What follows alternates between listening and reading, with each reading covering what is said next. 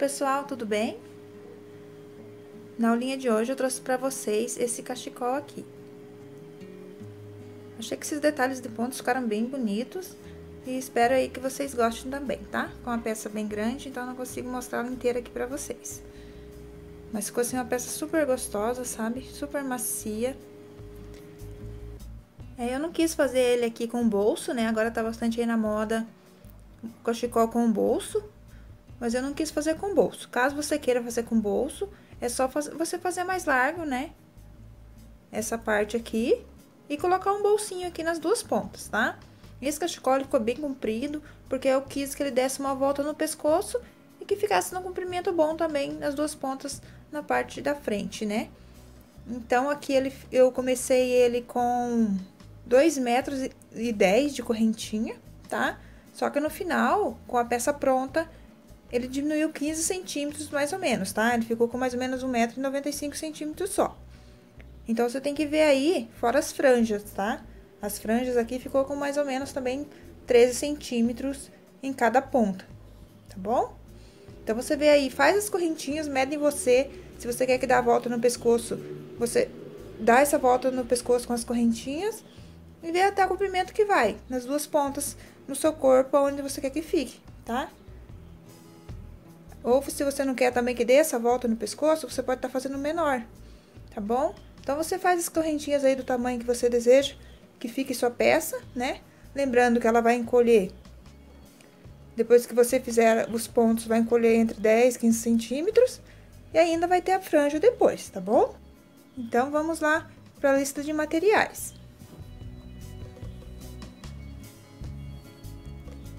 Então, vou estar tá utilizando aqui o fio Harmony, da Círculo. Ele vem com 240 metros e tem 100 gramas. Ele é 100% acrílico. Aqui no rótulo indica usar uma agulha de crochê de 3,5 a 5 milímetros, mas eu vou estar tá utilizando uma agulha aqui número 7. Para que a peça fique bem macia, assim não fica uma peça dura, sem caimento, tá bom? Então, você pode usar aí 6,5 a 7, tá? Até maior também se você quiser, tá bom? Não usar uma muito fina para nossa peça ficar bem com um caimento bem legal, tá bom? Então, você vai precisar aqui de dois novelos, tá? Do fio Harmony. Nesse tamanho que eu fiz, eu precisei de dois novelos, ainda sobrou um pouquinho. Então, se você for utilizar aí outro fio, você tem que ver mais ou menos aí a medida que ele tem, né? Para você ver quantos novelos mais ou menos você vai precisar, tá bom? Esse fio aqui tem um rendimento muito bom, além dele ser um fio super macio, bem gostoso o toque, tá? Você pode usar o molê, que tem quase a mesma espessura, esse aqui é um pouquinho mais fino que o molê, a lanceda, o fio hobby, aqui o, fio não, não, não importa muito, tá? Porque a gente vai trabalhar com medidas, é em centímetros, né?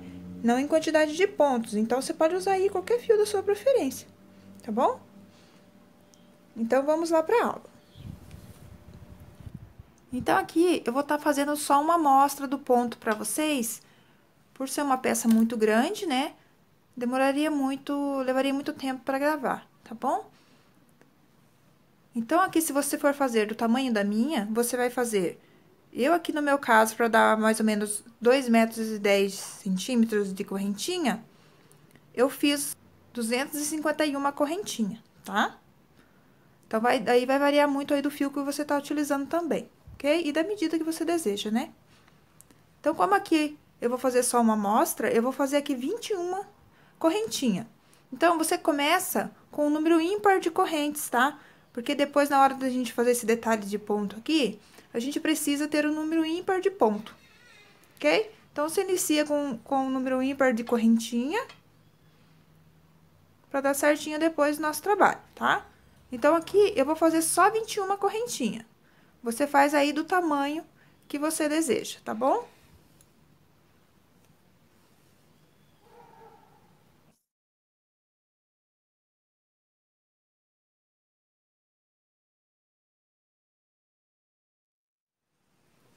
Então, fiz aqui 20, 21 correntinha. Você vai seguir o mesmo passo que eu, tá? Só que aqui vai estar tá em tamanho menor, tá bom? Eu vou trabalhar em carreiras de ida e volta, tá? No comprimento dele. Mas se você quiser também trabalhar, tipo, é, carreiras ida e volta assim, menorzinho, né? Tipo, aqui você faz... A minha peça ficou com 20 centímetros, né? De largura. Então, se você quiser fazer 20 centímetros de largura, ou largura que você quer que fique, né? Aqui, esse trabalho, essa parte. Então, você faz em correntinhas e pode trabalhar também aqui, ó. Nesses 20 pontos, 21 pontos. Ou a quantidade de pontos que você fizer aí, no caso, né? E de volta, e de volta, e de volta curtinho, né? Se você achar melhor, você pode trabalhar assim também, tá? Eu preferi deixar, né, trabalhar isso no comprimento para ficar aqui com esse detalhezinho parecendo tricô aqui na nossa peça, tá bom? Mas você também pode fazer aí aqui curtinho, né? Como se fosse só dessa largura, mais ou menos, né? 20 centímetros aí. Ou da largura que você deseja que fique. Você vai em carreira aí de volta e de volta até chegar no comprimento lá que você deseja, tá? Então, aqui eu fiz as 21 correntes, vou voltar a partir da quarta corrente fazendo um ponto alto. Laço o fio, volta na quarta correntinha. Faz um ponto alto. Para cada correntinha, você vai fazer um ponto alto.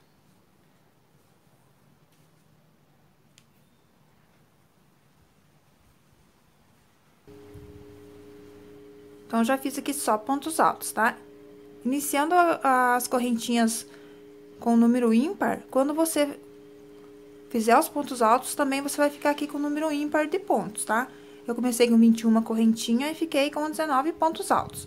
Se você estiver iniciando com 251 correntinhas, que foi o que eu fiz na minha peça, você vai ficar aí com 249 pontos altos, ok? Ou o tamanho que você fez aí que, que tenha ficado com o número ímpar, tá? Se precisar, desmancha um ponto para ficar com o número ímpar. Depois é só desfazer essa correntinha, tá? Caso você tenha feito aí correntinha a mais ou a menos, né? E tenha ficado com o número par.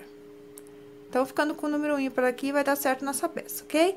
Então, fez tá essa carreira de pontos altos, vamos fazer aqui para voltar duas correntinhas.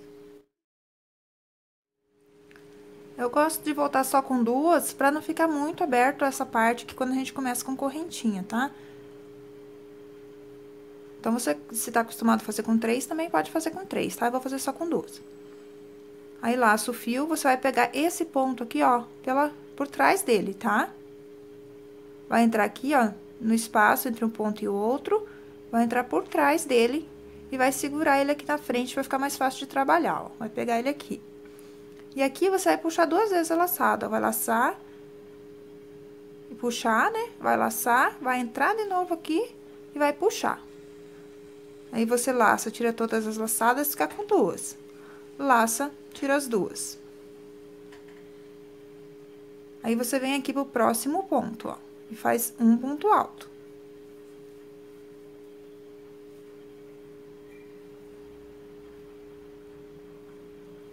Laço o fio, vai entrar aqui, ó, no próximo ponto. Tá bom? Esse ponto aqui a gente fez um ponto alto normal, agora o próximo a gente pega ele por baixo dele faz dois pontos nele aqui sem tirar da agulha. Um,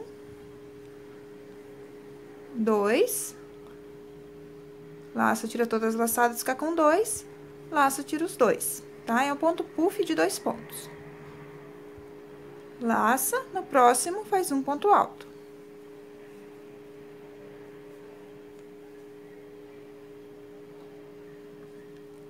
Agora, laço o fio, vai entrar debaixo do ponto novamente, pegando ele por debaixo. E vai fazer o ponto puff de dois pontos.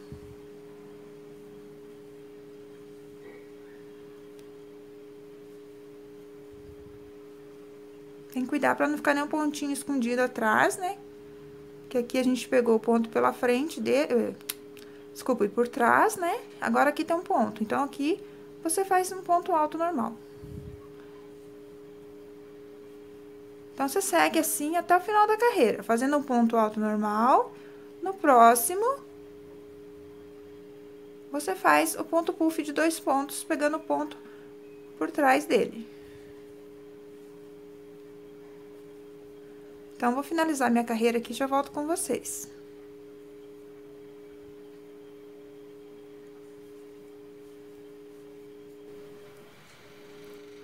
Então, cheguei aqui no final da carreira. E tem esse ponto alto de correntinha aqui do início. Então, vamos fazer um ponto alto nele, terminando a carreira com um ponto alto.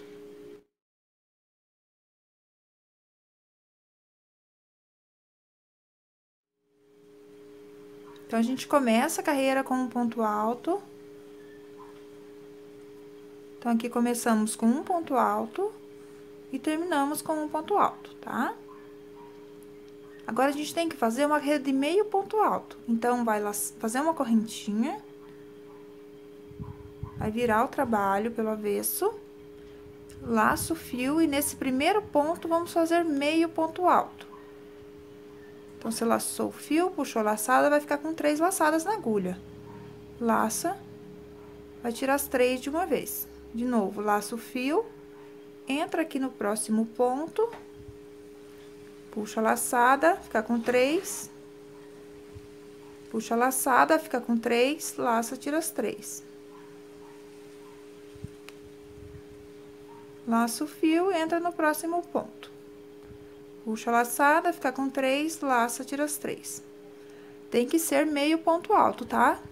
Se fizer outro ponto aqui, não, vai dar certo depois pra gente fazer esse detalhezinho aqui, tá bom? Então, você vai seguir fazendo um meio ponto alto para cada ponto de base até o final da carreira.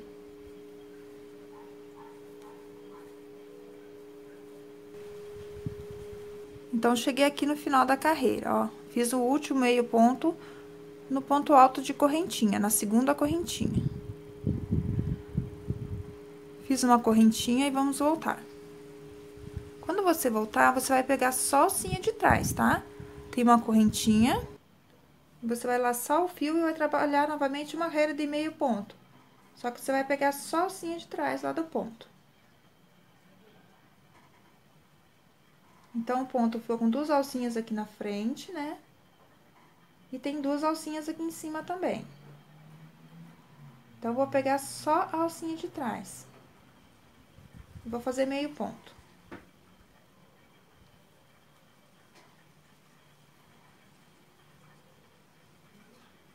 Laço o fio, vai pro próximo. Pegando só a alcinha de trás e fazendo meio ponto.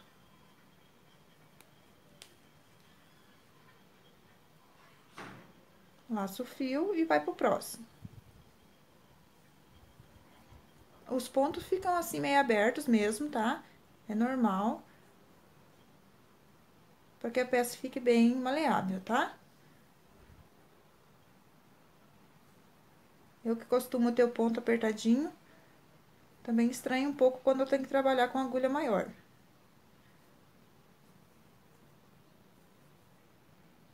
Então, vai fazendo só na alcinha de trás uma carreira de meio ponto alto. Então, vou terminar aqui minha carreira e já volto com vocês. Então, cheguei aqui no final da carreira, ó, e tem um último ponto aqui, ó. Então, a gente vai pegar só essa alcinha aqui atrás, ó. Tá bom? Pra que fique aqui as duas alcinhas do meio ponto aqui na frente. Então, vou fazer meu último meio ponto aqui atrás, só na alcinha que ficou aqui atrás.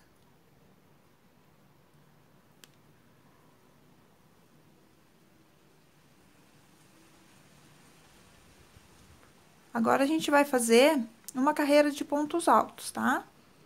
Então, aqui eu vou vir fazer uma correntinha. Viro o trabalho. Vou pegar aqui, ó, essa alcinha aqui, ó, de baixo.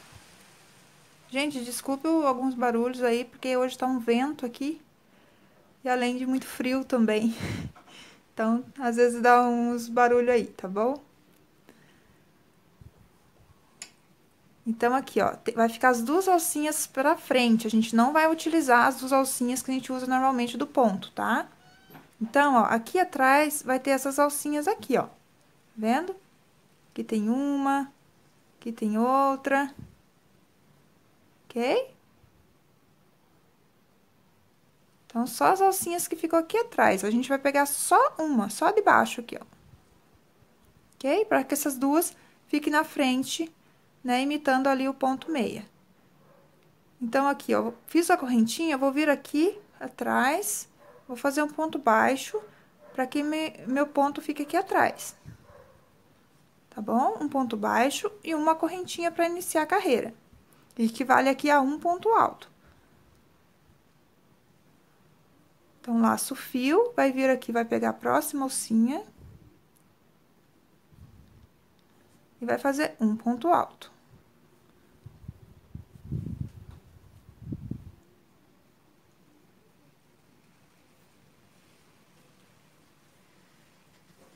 Então, essa carreira vai ser só um ponto alto, pegando a alcinha aqui atrás, tá? A alcinha fica bem atrás, onde tem as duas, tá? Ó, bem atrás mesmo. Tem uma que fica atravessadinha aqui, ó. Assim, ó. Não é pra pegar essa, tá? É essa aqui, tá bom? Que fica bem atrás mesmo onde tem as duas alcinhas. Então, segue fazendo um ponto alto para cada ponto de base.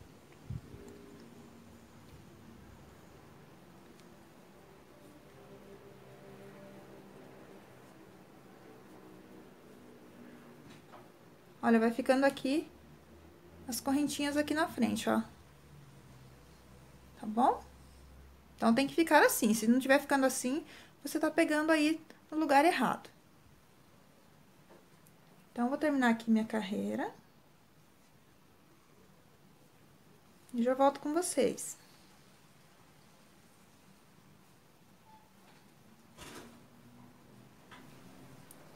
Então, aqui, ó, tô no penúltimo ponto e temos mais um ponto para fazer. Então, laço o fio. E aqui, ó, você vai pegar aqui, ó, essas duas alcinhas que ficou atrás do ponto.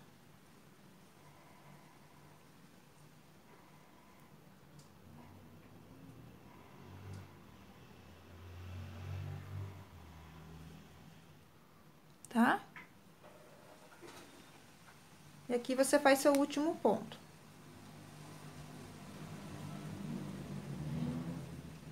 Laço, faz uma correntinha. Então, aqui, ó, esse início aqui, ele fica assim mesmo, tá? Porque como é início, final de carreira, ele fica um pouquinho aqui, com o pontinho estragadinho aqui, mas é assim mesmo, tá bom?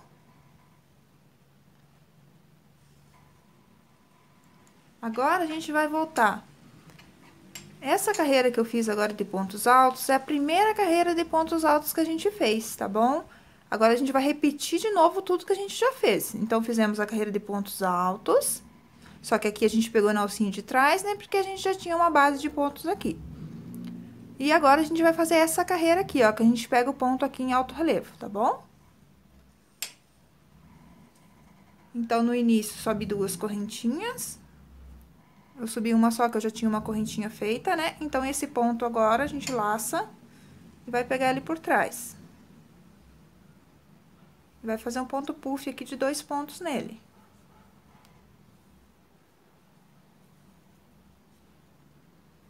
E um ponto alto no próximo ponto.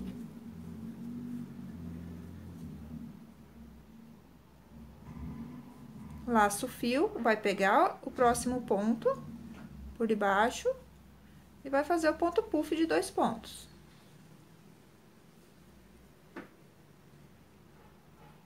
No próximo ponto, um ponto alto. Laço o fio e faz o ponto puff novamente. Um, dois, laça, tira todas, fica com duas, laça, tira as duas. E um ponto alto. Então, segue assim até o final da carreira novamente.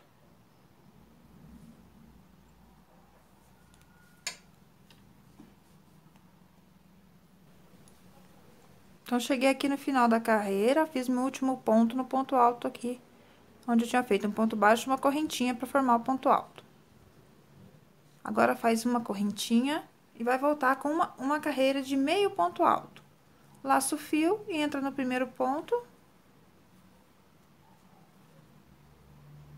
e trabalho aqui uma carreira de meio ponto.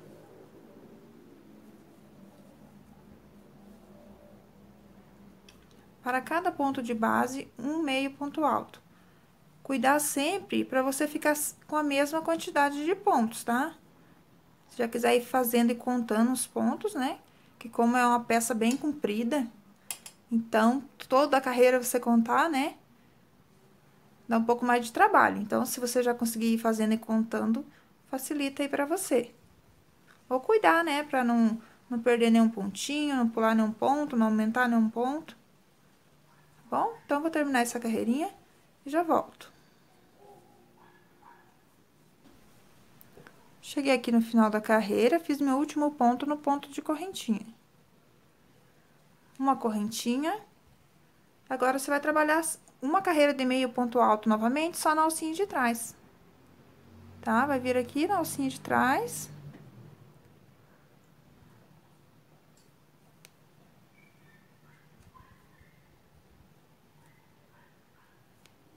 vai fazer uma carreira de meio ponto.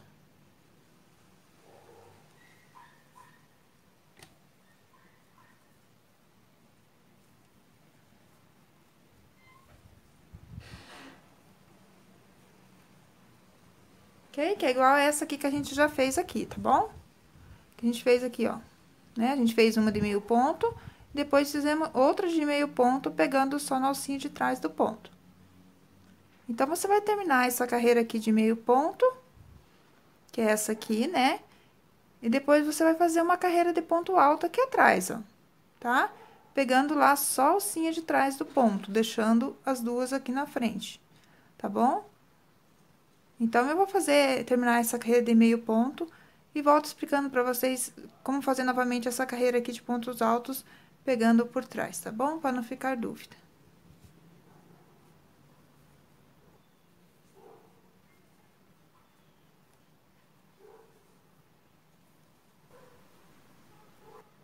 Então, terminei a carreira, vou fazer uma correntinha, vou vir aqui atrás. Ó, aqui atrás do ponto ficou duas alcinhas. Eu vou trabalhar só na alcinha de baixo. Vou pegar essa alcinha de baixo. E vou fazer aqui um ponto baixo, para trazer o ponto aqui para trás, e uma correntinha, tá? para formar o ponto, primeiro ponto alto. Laço o fio, vai vir aqui na pro, no próximo ponto. E utilizando só uma alcinha, vai fazer o ponto alto. Novamente. Vai vir aqui no próximo. E vai fazer ponto alto, tá bom? Ficando novamente com um detalhezinho aqui na frente.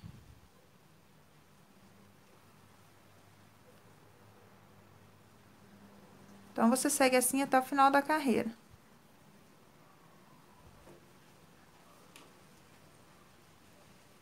Então, terminada essa carreira de pontos altos, aí você vai voltar fazendo essa aqui, que tem um ponto alto relevo, tá? E tem um ponto alto entre meio ele, ok? Então, essa é a repetição, tá bom? Você vai repetir essas carreiras aqui, ó. Uma de ponto alto, uma de ponto alto relevo com um pontinho puff, tá? De dois pontos. Aí, uma carreira de meio ponto alto e outra carreira de meio ponto alto. Aí, começa de novo, uma carreira de pontos altos, uma carreira aqui com ponto puff, uma carreira de meio ponto alto, uma carreira de meio ponto alto. Aí, novamente, começa com a carreira de, de pontos altos, tá? Você vai seguir assim até chegar na largura que você deseja, tá? A minha peça ficou com aproximadamente 20 centímetros de largura, tá bom? Ó, eu repeti uma, duas, três, quatro vezes, tá? Essas carreirinhas. E ficou com aproximadamente 20 centímetros. Se você quer que fique mais larga, é só fazer mais carreiras, tá bom? Então, agora eu vou explicar pra vocês como que eu coloco a franja.